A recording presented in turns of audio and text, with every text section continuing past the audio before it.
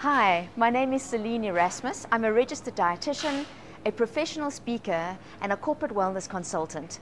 I'm author of Fast Food for Sustained Energy and a regular media columnist. I often get asked by people, well, what about pasta?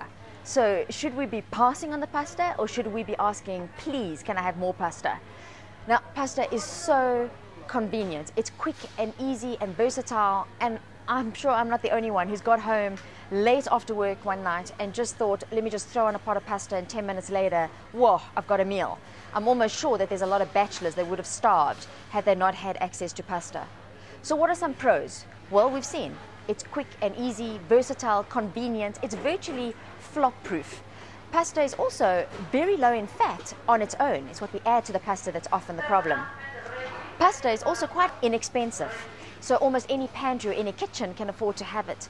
There's also such a huge range of pastas from vermicelli to bows and pasta sheets and spaghetti and fettuccine, one of my favorites. Now what about the cons of pasta? Well, pasta is incredibly moreish, so it's often hard to stop at the correct portion size. And in a moment we'll chat about what the correct portion size is. Pasta also tends to be made from quite refined flours, which makes it fast releasing or high GI. There are some pastas, like pasta made from durum wheat, that tend to be slower releasing or lower GI, which means that they're better for your blood sugar levels and they're not going to push them as high as fast. But now let's talk about the portion sizes for pasta. One cup of pasta, which is about a large fistful, provides 700 kilojoules, very little fat and about uh, 30 grams of carbohydrate. So that on its own is perfectly fine. But we don't have one cup or one large fistful of pasta at a time, and we certainly don't have it on its own. We often enjoy a pasta that's a huge bowl, maybe the equivalent of four or five, even six of my fistfuls, with a lovely, delicious sauce and meats. And the problem with that is when we're eating out in restaurants, when we're presented with a large pasta, we're more likely to eat the whole thing.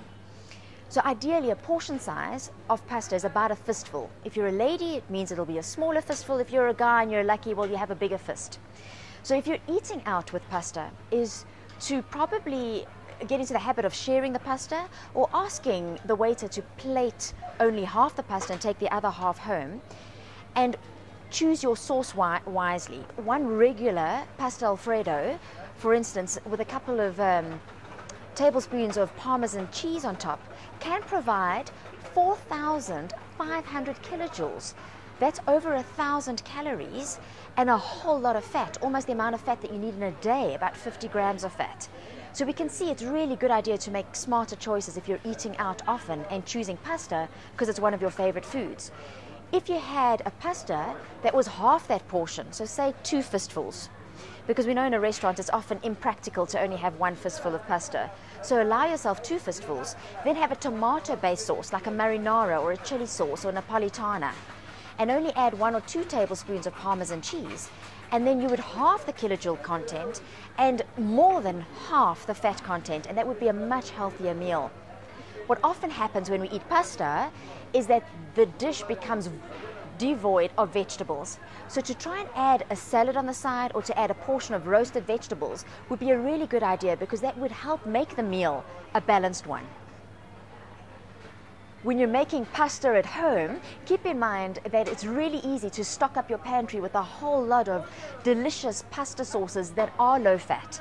Look at the label when you're reading a pasta sauce and ideally aim for one that has, if you look at the fat grams, and you look at the per 100 grams, go for pasta sauces that have 5 grams of fat or less, then you know that it's a low fat sauce.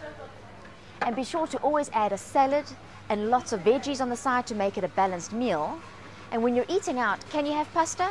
Sure, just don't have pasta plenty, you know? Make sure that you manage the portion sizes by sharing the pasta, maybe having a side salad, or taking half home so that you can enjoy it at your next meal. I have a free video series that shares many, many more tips and advice that can help you to boost your energy levels, also boost and improve your health, and help you to lose weight. Please visit my website at www.wellculator.com, and I look forward to seeing you on the other side.